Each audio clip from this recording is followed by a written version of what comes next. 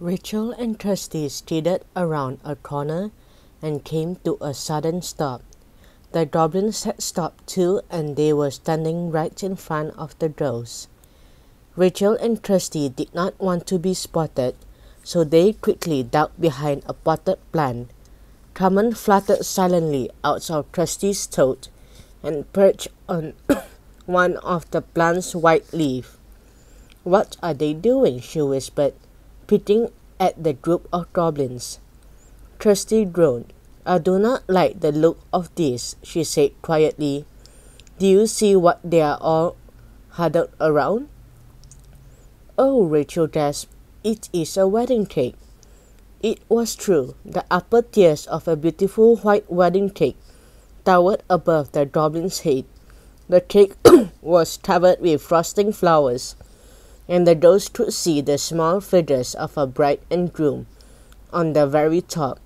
The goblins surrounded it, giggling gleefully, and licked their lips.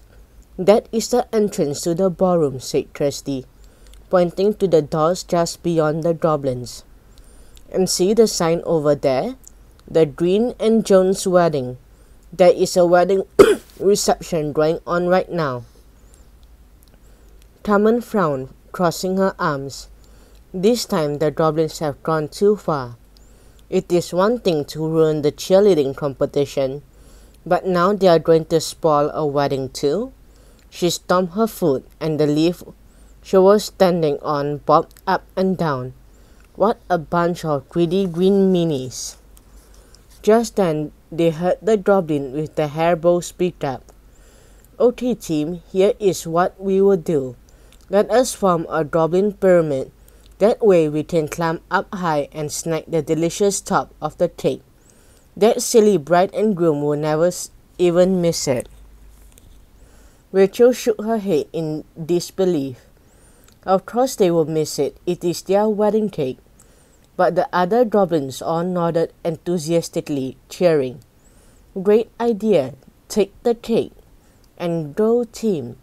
They quieted down and listened as the goblin with the hairbow taught them how to form the strongest, sturdiest pyramid. Then they scrambled into position. In no time, they began to form an incredible goblin pyramid right there in the hallway. Five goblins made the base of the pyramid, then four on the next level, three on the next level. Kirsty and Kirsty, Rachel, and Carmen all held their breath as the pyramid grew taller and taller. Before long, it was almost as high as the towering cake. The goblin with the hair bow nodded in satisfaction and got ready to begin his climb. Rachel and Trusty could see that once he reached the top of the pyramid, he'd be able to grab the top tier of the cake easily. Suddenly, Kirsty's face lit up. Team Huddle, she whispered to Rachel and Carmen. The little fairy fluttered down to perch on Kirsty's shoulder.